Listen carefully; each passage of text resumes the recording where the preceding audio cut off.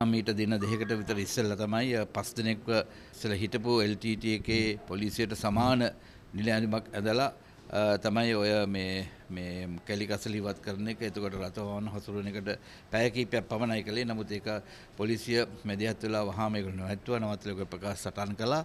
ඊට පස්සේ ඒ නගරාධිපතිවරයා අපි අ, දැන් කතා කරලා දැහුව දැන් බෞනවට ගෙනලා තියෙනවා. උන්ගේ ප්‍රකාශයක් අරගන්න සහ උන් අත්- ඌව දැන් අත්අඩංගුවට අරන් තියෙනවා.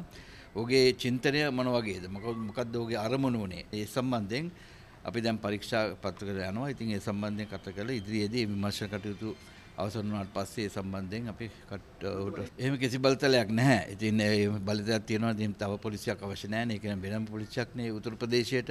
ඉතින් අ, ඒක එහෙම නැහැ. ඉතින් නමුත් ඒක නිසා ඒ වරද කරපු එකට දැන්ටමත් අ, ඒ වරද කරපු ඒ පස් දෙනාට විරුද්ධව අ, කටයුතු කර- කරමින් යනවා. ඒ වගේම තමයි ඒකට අනදුන්න කෙනා. ඒක එහෙම කරන්න තීරණය කරපු කෙනාව තමයි මනිවන් වන්න. දැන් අපි අත්තන්නකොට අරගෙන ඉරෑ දොල්හට විතර අත්තනකොට ගත්තේ. අර ද වෞනයාවට ගැනලා තියෙනවා. දැන් ඒක අපරාධ විමර්ශන සහ ත්‍රස්ස විමර්ශන කොට්ටාසෙ මගින් ඔහුගෙන් ප්‍රශ්න කරගෙන යනවා. ඒ අනුව ඔහුට විරුද්ධව අ, කටයුතු කරනවා නම් අපි කටයුතු කරනවා. FB එකෙන් නිවස් ෆර්ස්ට් ප්‍රෝෘති ලයිව් බලන්න.